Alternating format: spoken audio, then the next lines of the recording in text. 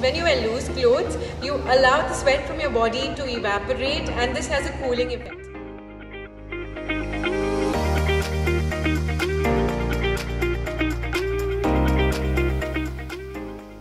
Hi, today let's talk about physical activity during summers. Now summer season is a season when we tend to sweat a lot and especially more while working out or doing the physical activity. So please keep this in mind. Try to wear loose fitted clothes because when you wear loose clothes, you allow the sweat from your body to evaporate and this has a cooling effect. Additionally, try to wear light colored or white clothes because light colored clothes reflect the sunlight rather than absorb it. While if you wear a dark color shade like black, it's going to absorb more heat and more sunlight and make the workout a little more difficult and can cause you to get fatigued more easily. So kindly keep these tips in mind while doing your physical activity which is good for your mind as well as body health. Thank you.